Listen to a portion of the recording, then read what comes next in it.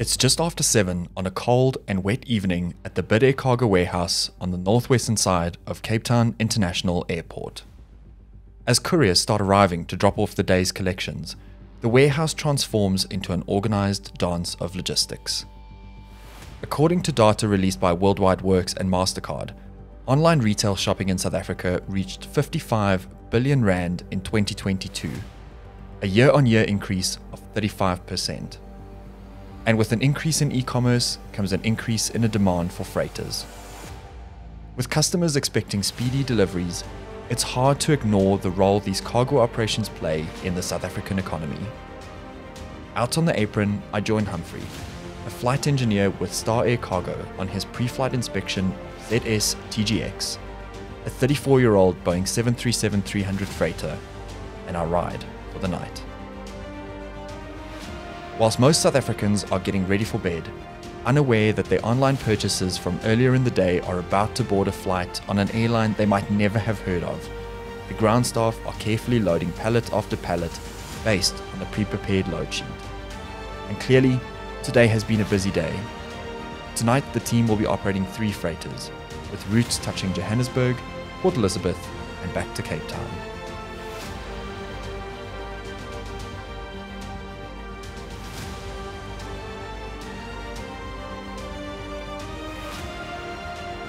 With final preparations completed and the last pallet loaded and secured, it's time to close the cargo door and head off into the night.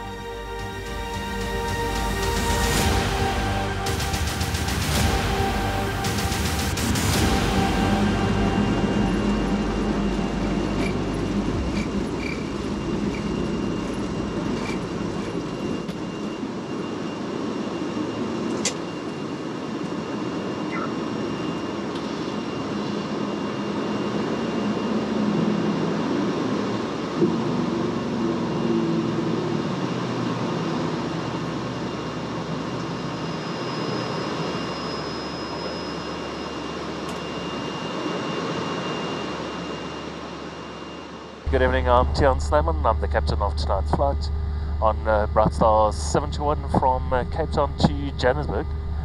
I love flying cargo at the moment. It fits into my sleeping pattern. It's not the same constraints as what you have during the day flying passengers. We, even though we still got schedules to keep our times on the ground, we've got a lot more time to prepare than the half an hour, 45 minutes on a passenger schedule. Good evening, my name is Strauss. I'm the first officer on today's flight. Flying cargo, we do fly dangerous goods as well. Um, so before every flight, if we have dangerous goods on board, we get a note, a notoc, notice to captain, which basically states what we have on board the aeroplane.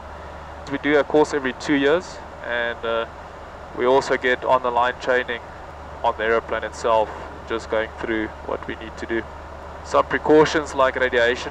Uh, material would usually go in the back of the aeroplane. That load sheet is usually sent to us before the flight, um, but it is determined on the ground where the pallet would be. And as I said, usually it's in the back of the aeroplane. After briefing the arrival procedures into Johannesburg's OR Tambo International Airport, the crews start their final preparations for landing. Tonight, we'll be landing on runway 03 left with a short taxi to the Delta airport. For me, what started as a fascination with watching these lonely freighters crossing South African airspace late at night on Flight Radar 24 has turned into a new appreciation and understanding for the airlines you won't get to fly, but whose impact soars beyond measure.